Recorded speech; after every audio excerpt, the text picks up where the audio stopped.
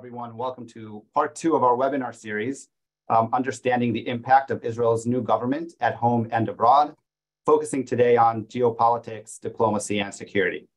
My name is Adam Odesser. I am director of the Dr. Stuart Lessans Israel Action Center at the Jewish Community Relations Council of Greater Washington, which serves as the public affairs and community relations arm of the organized Jewish community in our nation's capital. I'd like to begin by thanking all of you who are joining us here today uh, from around the country, Israel, and around the world. I'd also like to thank our partners throughout this webinar series, the Israel Policy Forum, the Greater Washington Forum on Israeli Arab Issues, and the Jewish Federation of Greater Washington. Um, before we get into things today, I would like to also take this opportunity and recognize the devastating earthquakes that have affected Turkey and several other countries um, and offer our deepest sympathies um, as the number of people who have lost their lives continues to rise into the thousands and many, many more have been affected. Uh, we hope that the efforts by the international community and neighbors in the region, including Israel and many others, will provide um, some much needed help to recover. Um, Jewish federations, including our local federation here in Washington, have opened an earthquake relief fund to support and provide vital aid to those in need, and a link to donate will be put in the chat box shortly. Um, and now turning back to the reason we are here today, um, our webinar series comes a little bit, a little over one month since Israel's 37th government was sworn in back in December 29.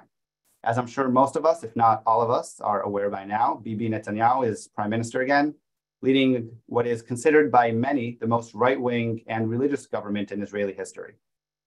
Last week, we had the honor to be joined by Ambassador Dennis Ross, who provided us with an overview and shared some of his insights and reflections and um, predictions of what we can expect from the current Israeli government. To discuss the current state and the impact of uh, this government that will have on security and regional relations, we are honored today to be joined by two esteemed guests, Dr. Shira Efron, which again, I hope she will be joining us shortly, who is the Diane and Guilford Glazer Foundation Director of Policy Research at Israel Policy Forum and a senior researcher at the Institute for National Security Studies, the INSS, and Dr. Jonathan Schanzer, Senior Vice President for Research at the Foundation for Defense of Democracies. Uh, before we begin, a bit of housekeeping for today. Both of our speakers will speak for about 10 minutes, and I will follow up with a question or two, depending on time. And for the last half hour or so, we will be taking questions submitted through the Q&A feature. Uh, please keep your questions short and to the point as we hope to take as many questions as possible. I'd also like to note that this call is being recorded and closed captioning is available at the bottom of your screen. So Jonathan, thank you for being here. Um, we hope we'll be joined by uh, with by Shira shortly. Um, you know, there's a lot to talk about, and I want to you know begin with you and um, you know take us a little bit. Uh, you know, let's begin outwards a little bit and talk about regional developments. Where do current Israel-Arab relations stand today? Um, and also U.S.-Israel relations. You know, we've seen over the past few weeks talks about possibility of a new normalization agreement between Israel and Sudan. Um, you know, what is the significance of that? And in addition, we've seen, you know, both Secretary Blinken and uh, National Security Advisor Jake Sullivan um, in, in Israel in the region. Um, so how has this government being, uh, been impacting the regional relations and the U.S.-Israel relations and diplomacy in the region? Okay, thank you, Adam. Um, and great to be with everyone today. Uh, appreciate you taking a little bit of time out uh, early in your week uh, for uh, for this webinar. Um, I'll start by just saying that I think there's a, an interesting dichotomy right now that we're observing in Israel, um, and and and maybe it's um, not new, uh, but I think it's more pronounced than it's ever been, and that is that Israel has never been more safe, but also it's never been more threatened. Um, and and the threats um, are are ones that I think are both internal and external, and we'll talk about those today. Both of them, I think, uh, are worth highlighting. Um, the first is let's just talk about the nuclear deal. It's the, the first and last thing that every Israeli security official wants to talk about. Um, and uh, you know the Israelis have been unequivocal about uh, their opposition to uh, a return to uh, the Joint Comprehensive Plan of Action, the 2015 nuclear deal. Um, that deal was highly controversial when it was signed. Um, it provided 150 billion dollars or more to the regime in Iran and and did not um, uh, provide a timeline for the ultimate cessation of uh, Iran's nuclear ambitions. And uh, obviously, Trump exited that deal in 2018. And then, with the return of uh, Joe Biden to the White House as president, not as vice president, uh, he vowed to uh, bring the United States back into compliance with the deal and to work with the Iranians. This obviously sent uh, the Israelis into something of a panic. Um, they continually opposed it while also working with the United States to try to shape it, which was an interesting approach. Um, but uh, after two years now of trial and error, I think it's safe to say that um, the deal is, um, for those of you who are Princess Bride fans, that movie from the 1980s, uh, the deal is mostly dead. Um, it's not entirely dead, but it's mostly dead. Um, it appears right now that there's very little appetite for a deal um, on the part of the regime in Iran. It, there's also very little appetite right now for uh, for this deal on the part of the United States. This is, of course, good news for Israel, uh, at least from the perspective of its military planners. Most of them, of course, not every Israeli agrees with this, but nine out of ten do, I think. Um, and uh, there are some outliers. Um, notably, actually, the head of military intelligence has been an outlier on this, but there most of the other Israeli brass agree that this is um, a good thing for Israel. It's actually surprising. The administration was prepared to send about $275 billion to the Iranians in sanctions relief with a bunch of other perks. Uh, the regime denied it. Now, this all came at a terrible time for the regime because we're now seeing these protests that have uh, really stretched on now for the better part of a half a year. Um, and these protests are threatening the very existence of the regime in Iran just to remind folks, there's essentially three pillars of this regime. One is death to America, the other one is death to Israel, and, and, and the third one is the subjugation of women. And it's women that are uh, coming out right now and protesting the regime and leading the unrest. And I think it has shaken the regime to its core. I think this is a very positive thing. Uh, from Israel's perspective, uh, it's it's a positive thing from my perspective too. Um, and there is, I think, some open questions about whether the Israelis and perhaps the Saudis, the Azerbaijanis, and others are uh, are trying to help the uh, protests along. Uh, these are questions that I think we probably won't be able to answer for quite some time. So you have the collapse of the nuclear deal. You've got the protests going on in Iran, and then uh, very recently we had this Junip- Juniper Oak military exercise conducted jointly between the United States and Israel it was an unmistakable message that the United States and Israel have uh, remarkable capabilities uh, separately and together uh, that uh, would enable um, a, uh, a, a, a, fatal strike on the regime. Not probably just its nuclear program, but it could do a lot more damage than that. We saw um, we saw air, we saw uh, missile defense, we saw um, personnel on the ground all conducting complex maneuvers, demonstrating the, the, the depth and breadth of uh, the U.S. Israel military um, uh, relationship. And I think it was an unmistakable message to the regime in Tehran, which again is already, uh, I think, reeling from the fact that it it didn't accept that sanctions relief and the protests continue to rage. So I think um, this is good news for Israel all around. Uh, but that said, uh, and again, just getting back to that kind of framing of this, that Israel's never been more safe and never more threatened. There are threats that emanate from an unchecked nuclear program, and that is exactly what's going on. There's news today that at one of Iran's premier nuclear facilities, they're uh, upping the enrichment of uranium, uh, inching Iran ever closer to a nuclear weapon. And so uh, this is a major concern. Now, alongside of that, there is a quiet war that's been taking place, which I think is uh, uh, highly consequential and I think does not get enough attention here in our press. Um, we call it uh, the war between wars or the campaign between wars. The Israelis call it the Mabam. It, uh, it's a Ma'arechet Ben Milchamot, um, the campaign between wars. And this has been a policy of continuity now from Bibi to Bennett to Lapid back to Bibi. Um, and it is a campaign of strikes, primarily in Syria, although also in cyberspace, on the high seas, um, and inside Iran itself, where the uh, Israelis are consistently, night after night, week after week, month after month, eroding the capabilities of the Iranian regime. Uh, some of it's nuclear related, some of it's not. Uh, but this constant conflict in the shadows has kept Israel safe, but it's also kept Israel on a knife's edge. There is always uh, the possibility of a broader conflagration. It hasn't happened yet.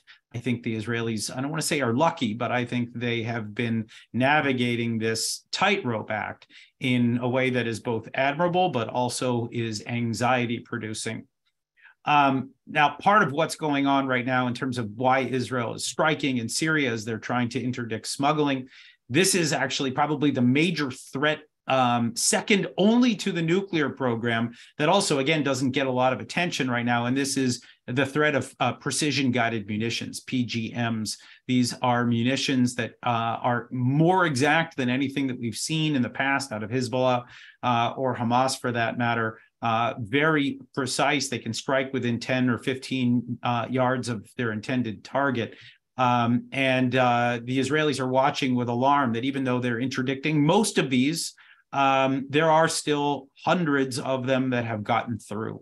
500 is the latest estimate that I've gotten from Israeli officials, and this is just something that the Israelis continue to watch with great apprehension. Now, um, at the same time, while the Hamas threat grows, um, the or the Hezbollah threat grows rather. The Hamas threat appears to be more contained, but not for the right reasons. It appears right now that Hamas has adopted a new strategy. And that strategy is that they already control the Gaza Strip. They don't need any more war in the Gaza Strip because they control the territory. So they've decided to begin to export violence into the West Bank, and we're watching that um, that that uh, the fruits of that strategy uh, day after day, week after week. In fact, since March, uh, we have watched a steady uptick of attacks.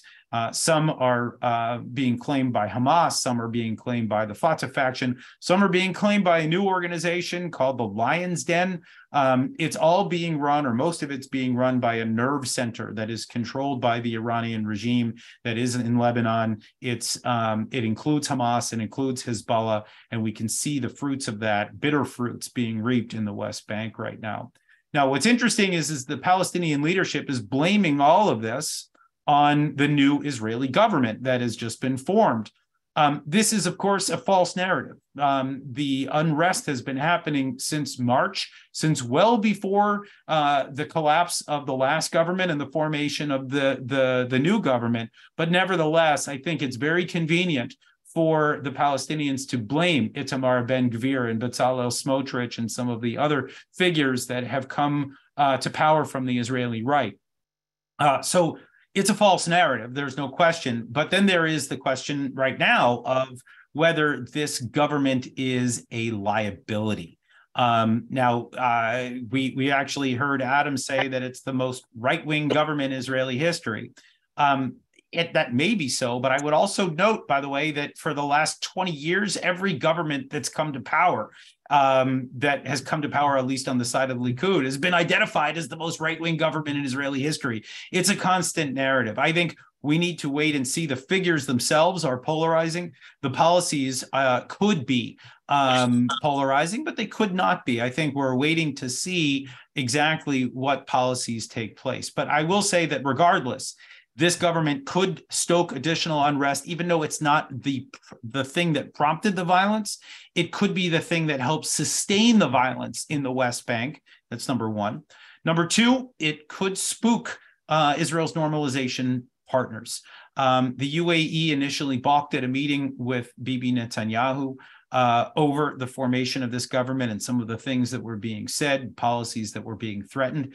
But that said, um, you know, and and while I think that's a threat, uh, it's interesting. But uh, we saw really uh, very positive developments this week with both the countries of Sudan and Chad. Sudan taking normalization a step further beyond what they did back in 2020, and Chad taking an unprecedented step. So, in other words, normalization continues to march forward, and that is, of course, something that we should all be cheering. Um, but uh, this government, I, I think also, uh, it's just as I try to wrap up here, um, you know, it is making the US government ambivalent. Now, most governments do in Israel when they first come to power, We don't know who they are. We don't know who to work with. I mean, I can even say that in the beginning, when um, uh, when Naftali Bennett became prime minister, there was some ambivalence here in the United States because he was a right wing figure, and no one knew exactly what he was going to do when he stepped into power right now inside the White House, everybody knows exactly who Bibi is. They know who Ron Dermer is, who's the uh, the Minister for Strategic Affairs, um, and and some of the others. There are, of course, other figures that they've never met, and they're trying to figure out really whether Bezalel Smotrich and Ben Gvir are people that they can work with. Um, is making things a bit more difficult that you have this government. Um, and you have some of the policies that they're at least articulating that they'd like to see in the West Bank at a time when the US government is at least considering closer coordination on Iran, which is Israel's most strategic and, uh, and most dire threat. So there is an interesting ambivalence that we're seeing coming out of the US government right now. And it'll be very um, uh, important to see exactly how Bibi handles this. Uh, I'll just note in, with just two final uh, points here that uh, the diaspora, uh, which is, is, obviously Israel's um, base here in the United States, is increasingly ambivalent about some of the figures that are coming to power. Um, I think that is a sign that Netanyahu himself, the prime minister, is going to have to take charge uh, of these figures and control them. If he's unable to, I think there are real liabilities ahead. Finally, we're noting one uh, thing in the financial realm that I think is worth noting, and that is that with all of the threats of legal changes uh, coming out of the US government, uh, coming out of the Israeli government, we're seeing uh, financial institutions, ESG companies, uh, those that provide financial ratings are beginning to wonder whether Israel is in fact predictable um, a, a, predictable democracy, which is always what has given Israel um, a, a, a, sort of um, an edge in some of these battles uh, in non-traditional marketplaces, and even some of the questions that arise every time Israel's brought or threatened to be brought bef- uh, before the International Criminal Court, the ICC it's always been um, the answer of Israel that there is a uh, judiciary that is beyond reproach, that it is independent. And right now, some of those things are being called into question. So again, I'll just uh, I'll conclude the way that I started. That we see right now indications that Israel's never been more safe. Uh, it is operating uh, in uh, its military is operating at a level I think never envisioned by its founders um, and it continues to operate against Iran. It continues to work with the United States in ways that I think ensure its security. But at the same time, we are watching some developments right now that should be cause for concern, as they always are. And Israel does always jump from crisis to crisis. Uh, but uh, these are some of the contours of the current crises and the current calculus as we see them here in Washington today. Great, thanks, uh, thanks, Jonathan, for that really um, you know, great overview. Um, I, I, Shira, I want to recognize and thank you so much for joining us. I know you've run into a little, little bit of difficulties joining us, and I'm really appreciative for uh, you being able to uh, still uh, push through those. Um, I, I want to turn it over to you. Um, and I know uh, Jonathan really gave us a little bit of an overview of, um, you know, regional relations, uh, the developments on that front. Um, and feel free to um, you know, tackle on a little bit of what he uh, spoke about if you have anything to add. Uh, but also I want, um, you know, Jonathan just mentioned um, that Israel has never been safer. And, you know, over the past week or two, we've really seen an escalation in uh, violence and terror attacks in Israel. Um, there's been an increase in IDF operations as well, specifically in the Palestinian city of Jenin. Um, so can you provide us with perhaps a bit of context and an overview what is happening in Israel today? Um, what have we seen since this coalition has really come together in terms of Israel, the PA, and the Palestinians? Sure. Hi, Adam. Thank you. And I ended up just joining on my phone. So sorry. I hope this is clear and you can see me and can hear me and this, this weird light uh, above my head. I uh, must admit that I, am really sorry because of the technical difficulties. I couldn't hear uh, John, uh, Jonathan, uh, my dear friend. So I hope I'm not going to be uh, redundant and this could get boring because I'm, I'm sure that on um, a variety of topics we agree. Um, I will, how should I say? So I think it is true that every, because these were sort of the last comments that I did hear, that uh, John was referring to the fact that I think was insinuating that we shouldn't panic. It's the most hawkish right wing uh, Israeli government that Israel's ever had because we always say that. But I think objectively, you know, the goalpost has shifted. We, this is a different uh, level. We're talking about um, uh, if you look at the Israeli, you know, the Knesset, right? You have a, a, a legacy party, the Israeli Zionist uh, leftist party, Meretz, uh, gone. And instead you have, you know, Itamar Ben Gvir, um, who until recently, uh, had a had a poster of Baruch Goldstein who massacred, uh, you know, dozens of Palestinians in the the, the cave of the pa- pa- patriarchs in, in the mid '90s uh, in, in his living room, right? Like someone who who admires uh, Kahane. You have uh, uh, Smotrich was not first in in the government, but but really at a different position. you have Haredi parties, which have the past have been sort of centrist, but have really shifted to uh, the right in the last decade uh, in, in, in sizes and power, uh, which, which uh, are pretty remarkable big, big political achievements for them. We're seeing uh, no uh, women in the coalition, barely any female ministers, not even one director general, female director general of ministries in Israel. Now, you know, uh, a discussion in Israel about LGBT. Tel Aviv is sort of like the number one gay city in the world. It, it wins all these awards. To have a discussion in the Knesset about LGBT, which content would would would come into schools. You know, I raise my kids here in schools. I think this is this is still uh, a different uh, level than we've seen uh, before. Um, but but but I agree with, with John that it makes sense not just to look at the personas, but but more on the policies that they promote. And in those policies, when we are uh, looking, uh, the, the, defining issue, we can talk about, you know, U.S. Israeli relations, and we can speak about the Palestinian issue and other issues. But but but but what's uh, threatening, I think, the social, the delicate social fabric of Israeli society now what I'm feeling here on the ground is really uh, the, the proposed judicial reform. Now, it's still proposed, so maybe we should wait until uh, it happens. But the fact that there's a huge pushback inside Israel now uh, to prevent this judicial reform uh, from occurring. There's always been um, a debate in Israel to the extent that the, the judicial powers uh, have and we shouldn't go into you know the definition of democracies and checks and balances. I think everyone understands that. But in israel traditionally very different from the us you have really two two two powers. You have the government and uh, which is the executive power right? The, the cabinet. You have the executive power.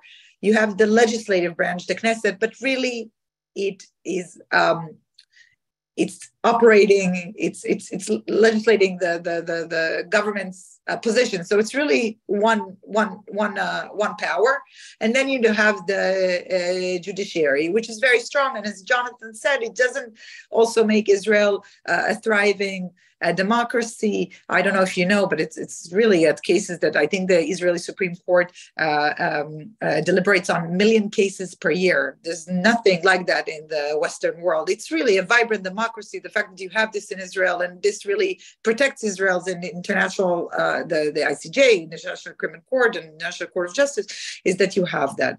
And and the argument coming from um, Justice Minister Yariv Levin, but many others in the coalition for a variety of reasons that want to uh, have more political involvement uh, in um, the appointment of uh, the, you know, the justices, judges, and legal advisors.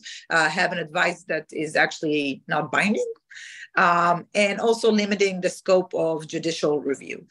And there's a real fear in Israel, and it's very difficult. I'm, I'm telling you, as someone who's notoriously nonpartisan, uh, you know, being doctorated by the RAND Corporation, to have a, a, discussion that is not ideological on these issues. Because once you say something pro-reform, you're immediately associated as, as, a, you know, as a Bibi supporter. And when you say something against it, you're an elitist, Ashkenazi, elitist, left left-wing doesn't like you don't like Israel. So there's a real, real, real, real, real threat that I am very, very concerned about because uh, we can't even speak about the substance. Um, we it, it, comes to the the the the, the core of um, is this going to undermine uh, Israeli democracy? And I think for our listeners and those, and we, I, am pretty sure we would all agree that we want Israel to be uh, a Jewish, democratic, and a secure state. And uh, and he um, and this is very hard to balance as is. And um, there's a let's say that most legal experts, at least inside Israel, uh, think that this uh, is going to undermine uh, the democratic character of Israel, which has its own uh, risks. It has international risks. Uh, Jonathan referred to uh, one of them in the international, you know, in international institutions. It also has an economic risk uh, which which you know Israel if Israel is not going to be this predictable vibrant democracy it's going to be very hard uh, to invest here. Investors are scared if you don't have a, a strong judiciary to protect them.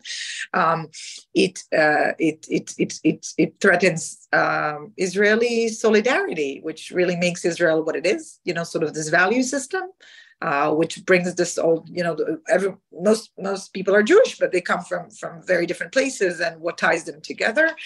Um, and I think, and maybe we can tie this. I don't know if John, uh, you had a chance to speak about it, but I think this core principle of Israel being democratic, it really allows Israel the special relationships that, that, it, that it has with Washington it's a core that speaking about the shared values it's not nonsense. Some people in israel dismiss and say well the us also has uh, partnerships with other countries in the world. Yeah it's true. But those partnerships are nothing like the united states has with its democratic partners. And if israel god forbid is uh, deemed non-democratic, it doesn't mean that it's not going to have partnerships. Israel is going to have assets, and it's going to be important for the Middle East, for other things. But there's no way the U.S. and Europe will be able to continue cooperating with Israel at those levels. Um, it is not. I don't want to. I don't want to compare uh, Israel and Turkey, very, very, very far examples. But I think the the the chart that Turkey um, had gone through, right? Turkey was a fundamental partner, a NATO partner, the strategic nuclear American weapon on Turkish soil. Uh, but when Turkey went down a path, stopping uh, effectively when stopped being a democracy, um, it, it, it was removed from a circle of, of, of, of partnerships. So we can see how this happened. I don't think it will happen with Israel, but I think uh, the core uh, principle of Israel being a democracy is something that you cannot play with. When we go to the, the strategic position, you know, I agree. I think Israel is at the best strategic position ever in history. Really, it's uh, militarily, economically, Israel's GDP now is higher than Canada's, it's higher than the UK's, it's higher than France. I mean, Israel is really, you know, we, there was a point where we talk about Israel being a developing country, a developed country. Israel is a strong uh, economy. Um, it's uh, it's uh, um, uh, it has uh, uh, obviously strong um, um ties with with Western uh, countries, all Western countries, also with countries uh, in the Far East, um, Arab countries in ways we have never seen. There's the, the formal ties through the Abraham Accords, uh, but also and other normalization agreements, and there are back-channeled uh, ties uh, to other countries. Um, you can you know so so i think there's there's this this this paradox that when we talk about israel we talk about a threat and restoring governance and and and uh, effectively handling terrorism there's this paradox because objectively israel is really in a strong position. Um, which i would say so if it ain't broken don't fix it. But uh, there are other there are people that think differently. With the palestinians um, you know as much as I think uh, there was a, a, thought that maybe through uh, we, we there was this paradigm right before that without um, um, uh, a peace process with the Palestinians, without solving the conflict with the Palestinians, there would be no normalization with uh, Arab um, uh, countries, and then we had the Abraham Accords, normalizations agreements, the UAE championed it, and this this really changed the paradigm, and it made some people think that really the Palestinians don't matter. Uh, that matter that people forgot that there are 2.2 million Palestinians in Gaza and 3 million Palestinians in the West Bank and 400,000 Palestinians in East Jerusalem, right? It's 40% of the city's uh, residents. And they're not going anywhere. Uh, the conflict with the Palestinians is something that puts uh, real risk. It risks obviously Israeli lives with uh, horrific terrorist attacks that we've seen uh, in the past few weeks. Uh, there are 14 uh, Palestinian fatalities, most of them uh, assailants who were involved in terrorist activities, but of course there's civilian casualties. only we're talking about a month in uh, this new year 2023 uh, after uh, 2022 which was a year of uh, uh, also a rise in violence. Um, i can tell you and we can go into this in q&a but i think when it was mostly jenin and nablus there was this okay what are we doing? These are areas that the, the palestinian authorities doesn't have good control over. It's also areas when you have the Tanzim related to Fatah, obviously the PA, uh, the PA's political movement. They don't have legitimacy to act there. It embarrasses them. Uh, it's a challenge, and there's a push how much Israel should do, IDF, the Israel Defense Force, should do uh, in the Palestinian cities, and how much should the Palestinian security forces do, and how do you strengthen the PA?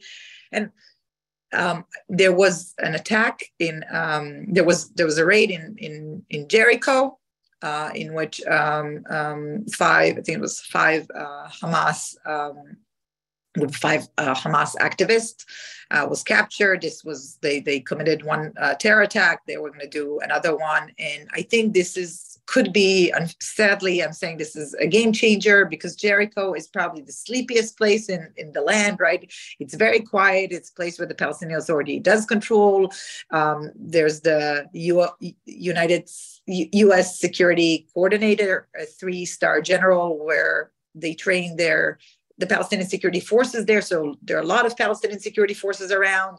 Um, those were Hamas uh, activists, so a legitimate cause uh, for action. Uh, the intelligence obviously was shared, and the IDF found itself operating. And this brings to question really what it's is it is it capacity or the Palestinian Authority doesn't want to act. And if they don't want to act because of the political context, because they feel they have no hope, because they feel that they, they look like uh, collaborators of the Israeli occupation in their minds, and, and this is how they perceived by their population. It really has no legitimacy. There's going to be a real crisis of uh, trust uh, between Israel, and I'm not talking about the political levels. I'm talking about the pro- professional levels, and and and and this is very very dangerous for security moving forward because you can't just like have a plan for strengthening trust right that this trust was was built over time.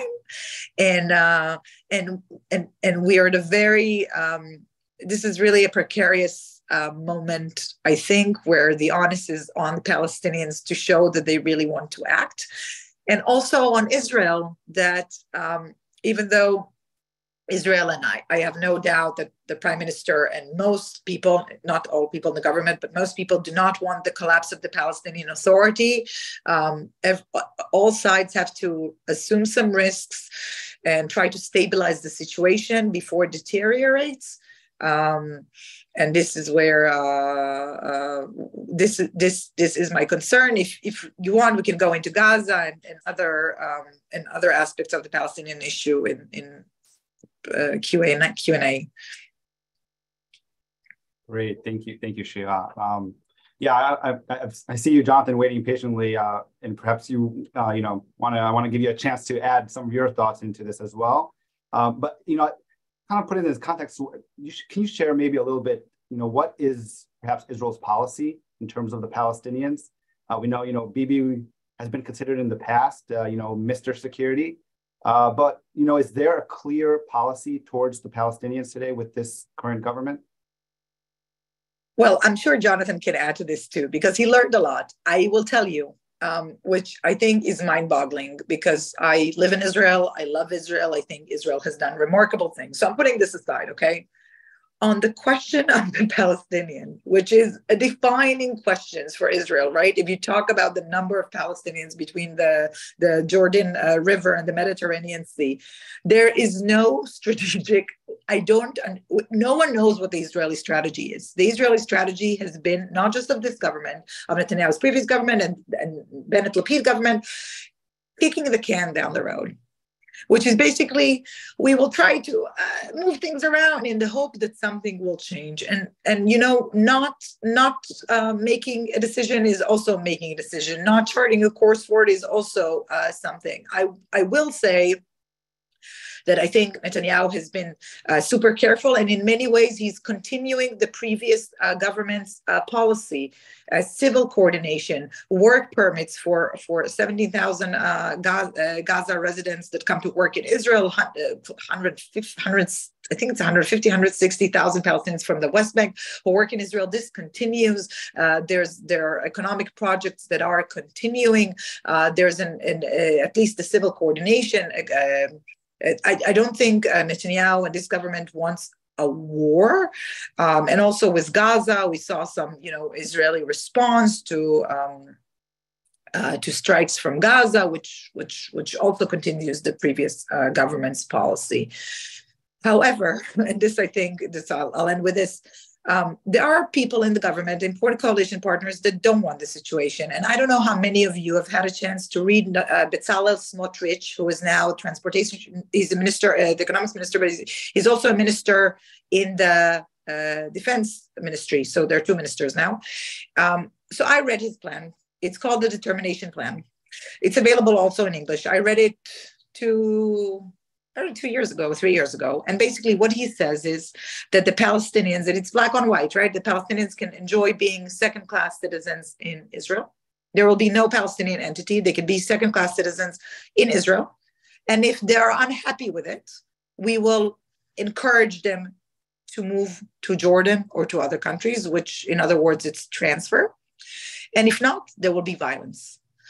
And, you know, this comes from, he's a real ideologue Netanyahu is not even close to that. There are many people in the government who are not close to that, but but but but there's a push that they're they're um, they're key partners in this coalition that not only would not shed a tear if the Palestinian Authority collapses, it's it's it's their agenda and, and they wrote it. It's not there's no hiding. And I don't I spoke with Smotrich after he he published this plan. He's he's very proud of it.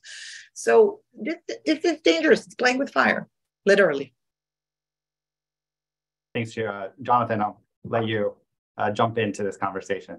Yeah, thanks. And and Shira, great to see you, uh, if only um, in two dimensions. Um, I look a, a, few things. You know, when we talk about the the the Israeli strategy on the Palestinians, I think it's important to note here that there's a history that leads up to this moment right? And and it's really hard to ignore the history and i think from the israeli perspective in particular rank and file israelis who went through the oslo process the optimism that began you know with that handshake on the on the white house lawn back in 1993 the evolution of uh, of peace and the, the the close cooperation with the United States only to watch the whole thing collapse in 2000 this is not ancient history by the way. I mean in some in some ways it feels like it because it feels like it was like a bygone era but this is we're talking about 23 years ago when the peace on the peace process collapsed okay and then you had after that an intifada that lasted from 2000 to 2005 a campaign of violence and suicide bombings and, and just horrific actions taken by the Palestinians at a moment where the Israelis were prepared to yield something like 97 or 98 percent of the West Bank. It was rejected outright. Okay. Now, ever since then, what we've had is a uh, really uh, a, a two pronged problem. One is that uh, the Israelis, even after the Intifada, decided that they were willing to gamble on giving the Palestinians the Gaza Strip. It was taken over by force by Hamas. And ever since then, it has been a terror state. And so it's a constant reminder that uh, yielding land unilaterally to the Palestinians is not an answer, right? It cannot be done unilaterally. There has to be a partner. And so it's a constant thorn in the side of Israel as they try to grapple with the problem of Hamas. Okay. The other problem that I think is no less problematic is that the current leadership of the Palestinians is not leadership at all. I mean, we're talking about Mahmoud Abbas, who has been in power since 2005. Okay. He is 18 years into a four year term.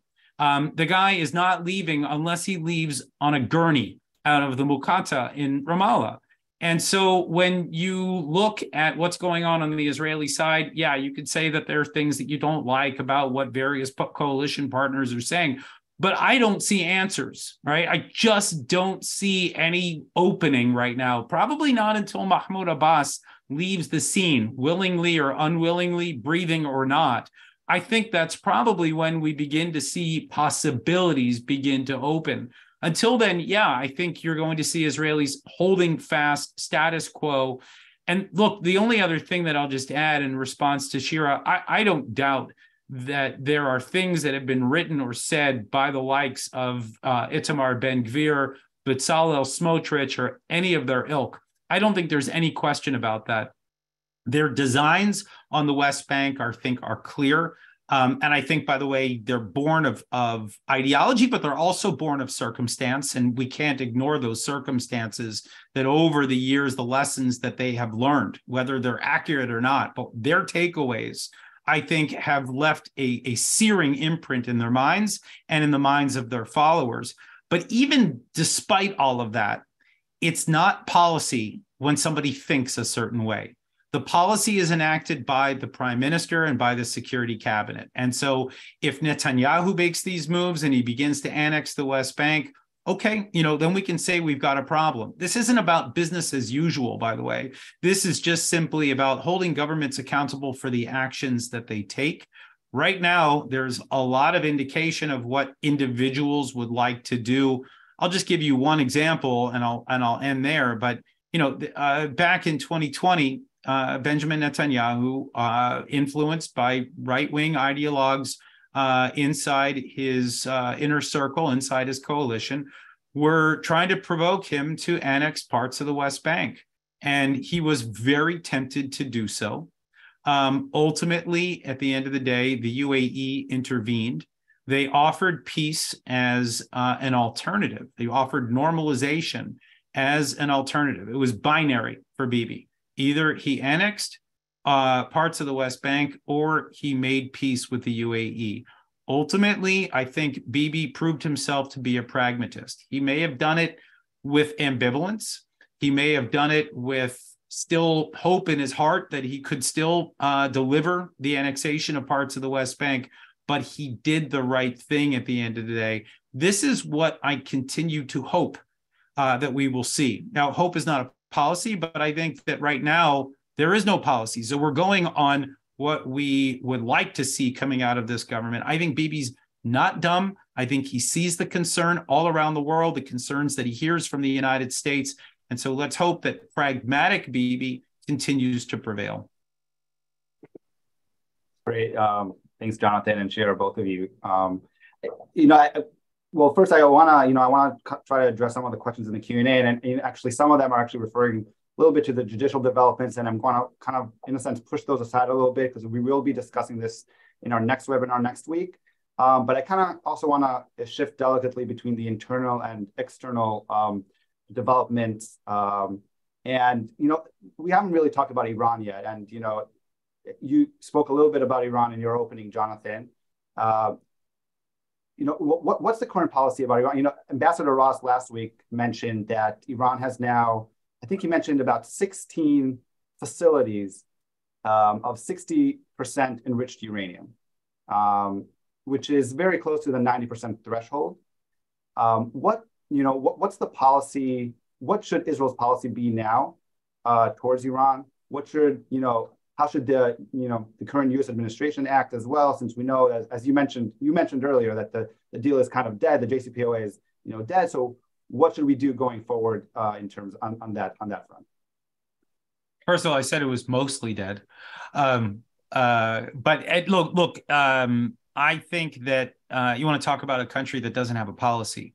Um, the U.S. does not have an, an, Iran policy right now, and and that that is, um, I think, very unfortunate. Uh, we were uh, pushing very hard. When I say we, I mean the White House, the State Department, pushing very hard to re-enter the uh, 2015 nuclear deal or some variation thereof. Um, and then uh, when the Iranians rejected it and diplomacy failed, I think we were holding out hope. Uh, our, our officials were holding out hope that they may be able to return if we just put it on ice. Then the protests broke out. Um, and then we're watching some of these dangerous moves being made by Iran. Um, and uh, look, if you ask me what I think the policy should be, I believe that it should be a return to maximum pressure. It should be a return to the sanctions policies by the way, not of the Trump administration. A lot of people mistakenly point to the Trump administration as uh, the the the presidency that put the most pressure on Iran. Look, th- they may have taken it to different levels, but this was actually a policy that was born during the Obama administration. That it was the first half of the Obama administration where they put uh, a massive amount of pressure, unprecedented pressure on Iran that ultimately forced them to the negotiating table. And that's where we need to return to, in my in my view, that those sanctions need to be imposed. They need to be imposed yesterday. And then on top of that, the Mabam, as we call it, the war between wars that Israel is waging in the shadows every night, that needs to continue. And I think it probably should continue with the help of the United States. I think there are probably ways of escalating some of that asymmetric activity to continue to erode Iran's capabilities, conventional or otherwise. The goal should be that Iran, uh, at some point, should uh, see its its uh, its current outlook as futile. The idea that it can continue to threaten Israel and the United States and other re, uh, actors around the region that they need to see that if they continue to do it, it's only going to be detrimental to them. Because at the end of the day, this regime is interested in really one thing, and that is self preservation and survival. So we need to threaten that directly uh, by ourselves with Israel and perhaps with other partners. That should be our policy. We are far from that right now. And I hope, anyway, is that uh, you know, we'll, we'll see a meeting of the minds between Netanyahu and uh, and Biden. Of course, the biggest hindrance to that is, I think, exactly what Shira pointed out that the ambivalence right now that we see on the part of this administration about some of the figures in this government and some of the things that have been said may give the United States pause, and it could be a stumbling block toward what is needed here uh, in terms of joint uh, joint policy. But uh, Adam, is it okay if I respond? I think that the fact that we saw, you know, CIA uh, chief, right, Bill Burns in Israel, and and uh, National Security Advisor Jake Sullivan, and then uh, Blinken, and during these times there were uh, strikes, Iran, when U.S. visitor high level visitors here. And uh, israel did it was not a surprise to the us i think it actually sent a signal that i i, I think is positive of, of coordination on that front. So yeah. i i hope we can i hope the us and israel um, and notwithstanding the concerns that this administration could have on uh, about israel which i'll get to in a moment but I, I i hope that on iran they can continue to coordinate you know, I agree uh, with John in sense, you know, the, the JCPOA is, is mostly dead. We can argue about the merits of this, you know, the, the most benefits of, of, of, of this agreement were, uh, were uh, you could you could you know the benefits were, were timed and and we're not in that time window again and i think it's very difficult with with this administration that with the brutal uh, oppression uh, at home right to give them those those rewards. And and not it's not just countries in the region right with their assistance to russia. I mean it really they really operated here in ways that are uh, uh, hurting them on the global stage and, and, and it's a good thing. Um, maximum pressure, uh, how you do it more effectively uh, than it was done before. I think that's important. The way, and you're exactly right, uh, John, right? It was the Obama administration. You, arguably, the, those crippling sanctions were um, an, an, an, incredible, an incredible threat, right? A credible military threat. Um, helped bring Iran to agree to an, to, to an agreement, to, to uh, uh the JCPOA. Uh, we can argue about whether it's a good agreement or not, but the fact is it's an agreement that Iran agreed to, and now they're not agreeing. So it's either the absence of the credible uh, the credible threat and the absence of uh, those crippling sanctions in ways, or the Iranians themselves have found ways to. Um, to uh, to to handle right they can uh, they have china and they have Russia and they have other players that they can they can you know that they're they're they're they're pretty good. They're pretty agile. They they know how to work. They're in survival mode. Um, so we just need to find uh, ways to do these things, um, in, including, uh, of course, the, military uh, power, short of the, the big strike, uh, which which is not in the cards at the moment, um, in ways that would be effective and would lead to a change in Iranian behavior and not just hurt them and the change in Iranian behavior is is just not something we're seeing. Um, so I think I think it's it's it's it's it's a real challenge, um, and we, you know, I say this with great sadness. I know it's provocative, so it's not what I'm I'm planning for, right? But I think Israel, and I'm sure there are discussions like that, and the U.S. They should make all the plans to prevent Iran from acquiring nuclear weapons. But I think we should have the contingency plan and what types of containment if we if we cross the if we cross the point. Is it going to be another North Korea? I mean, I hope not. Can we? Are there lessons learned from other places? I'm not, I'm not talking about deterrence. It's not going to be a Cold War situation because this war is not cold. But I mean, uh, this is this is a scary scenario, and and and and we have to plan for it while we are trying to uh, prevent it. Um, I will say on Blinken's remarks, John. I don't know if you men- mentioned it. I think what was most striking to me, you know, usually U.S. officials come to Israel and they say like the usual, blah blah blah, we love you and we'll continue to work with. And the fact that he made comments specifically about the democratic nature of Israel and, and how democracy is achieved and maintained. You know, these are not comments I've ever heard in Israel. You don't hear them when Blinken goes to France or to New Zealand or to other allies and partners. Um, so, so I think there's definitely concern in Washington. I agree uh, with you, John, that we need to judge uh, it based on policies, but it's okay to, you know, to raise red flags and, and warning signs before right irreversible things happen. Um, thanks, Jerry. And, and, you know, we are, you know, getting close to the top of the hour and we uh, haven't really got into a lot of the other topics we wanted to talk about, but, you know, perhaps we can, maybe we can talk for, you know, two, three minutes about other external relations, regional relations between Israel and other Arab nations in the region uh, and their cooperation, you know, following the Abraham Accords. Uh, again, I mentioned Sudan in my opening remarks. So perhaps are there any developments on that front that we can talk about and discuss for a minute or two? Jonathan, do you want to try and take that? Sure. Um, look, uh, normalization is going well, um, all things equal. Uh, not perfectly, but well. Uh, things are, are blossoming with UAE primarily. Um, Bahrain is still uh, warm. Um, and Morocco is uh, warm enough, I would say. The people to people connections are good, even though maybe some of the other things are are still, you know, uh, lagging. But I, I think there's still lots of room for development there. There's a nice runway. Um, Sudan, uh, I think, look, it was important, and Sudan remains important because it used to be um, it, basically a way station for Iranian weapons on their way to the Gaza Strip. It no longer is. Um, this is a friendly country to Israel. The problem is, is um, I believe the technical term in Hebrew is it's a balagan.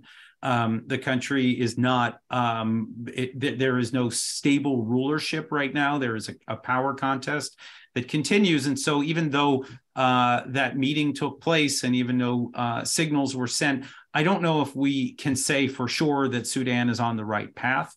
Um, it's probably easier to say that with Chad right now, um, uh, somewhat ironically. And so that's um, th- those are, I think, but all, all, things equal, these are good signs. I think the Saudis are quietly moving in the right direction from all indications, and we're very pleased to see that because uh, as the Saudis go, so will the Middle East. Um, if the Saudis take that step, and and I think they're interested, I think they're intrigued Um, if they go in the right direction, oh man, you can just imagine what the Middle East will look like. Shimon Peres will be beaming from beyond. Uh, the man who talked about you know the new Middle East. This would be a new Middle East. Um, the two negative things that I'll just point out here, actually, maybe only one. I mean, Egypt is fine um, as one of the original peace partners. It's not great. The rhetoric is still not great, but the partnership with Israel on security matters and in containing Hamas in the Gaza Strip it's it's good. It's good enough, and I think the Israelis are quite happy. And that bromance between Bibi and Sisi continues, uh, despite the fact that there are some, you know, sort of there's chilly rhetoric coming out of Egypt. That's not as concerning to me as the last issue that I'll flag, and that is that Jordan, which was once the warmest piece in the Middle East, is now the coldest. They are signaling things in every wrong way that one can imagine, uh, truly embracing the Palestinian cause, perhaps even more than the Palestinians themselves. Um, and um, rejecting the Negev summit process, not getting involved in the Abraham Accord structures that were created after those agreements were signed. The Jordanians didn't even come to the White House lawn signing um, uh, uh, back when the Abraham Accords were signed. So you get a sense that things are not well um, and and by the way, just as a final note, Bibi and Abdullah are not friends. Uh, so the rise of Bibi is going to Even add. Even though we've seen a meeting between them, you know. Yes, the they met recently. They met about a week ago, um, and I think that was a positive sign. It's showing effort on the part of Netanyahu. But I think the king's disdain for Netanyahu cannot be masked. And uh, and so I think there are some challenges ahead. I actually just recently wrote a research memo for FDD on this. It's called Neither Here Nor There. Um, Jordan and the Abraham Accords, and you get a sense of the ambivalence that the Jordanians have. It'll be important that you know Israel not lose peace partners as it looks to gain them. That is an important element of the strategy here, and one that I would just underscore for all of us to watch. Thanks, Jonathan. And of course, you know, seen over the past month, you know, tensions uh, over Temple Mount as well, uh, which kind of perhaps contributes to this tension between Israel and and the, and the Jordanians. Um, you know, Shira, I want to offer you an opportunity as well to offer, um, you know, some final uh, thoughts on, you know, everything we've spoken about over this hour. Um, please.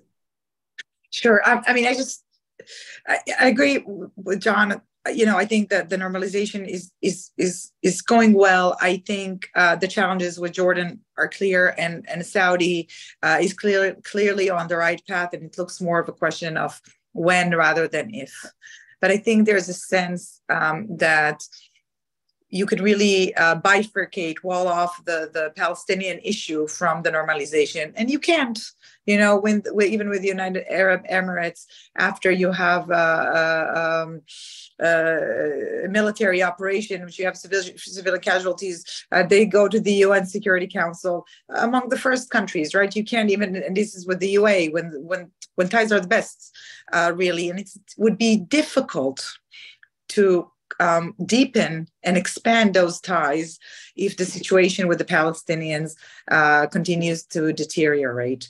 And um, at Israel Policy Forum, uh, we wrote uh, a report when it was one year to normalization agreements, and we tried to say, like, okay, can we use the normalization agreements to bring the Palestinians in to to affect a positive change also on the Palestinian front? And you know, we had several recommendations, and one one section is on on the Saudis, and clearly Netanyahu indicated in previous in several interviews that this is clearly the priority, and so the idea is maybe how it's not Arab peace initiative. It's not no one's going to divide Jerusalem for for uh, peace with the Saudis. We're we're not in this universe anymore.